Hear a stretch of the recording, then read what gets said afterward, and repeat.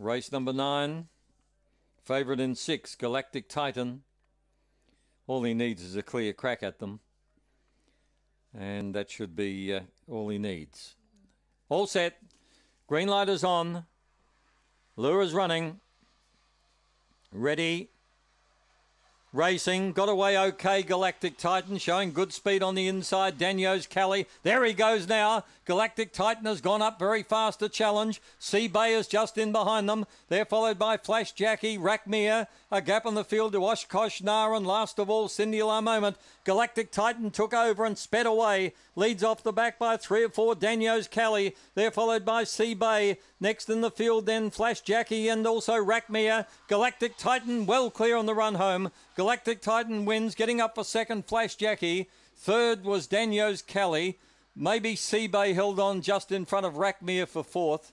And they're followed by Oshkosh Naru, really got going when it was all over. And last of all, Cindy La Moment. 29.9 is the time. Very impressive. He loomed up on the outside approaching the first turn. 447, 1705 to the back, home in 1280 for 29.85. Numbers here 6, 2, 1, and should be 3. 6, 2, 1, and 3. They are official.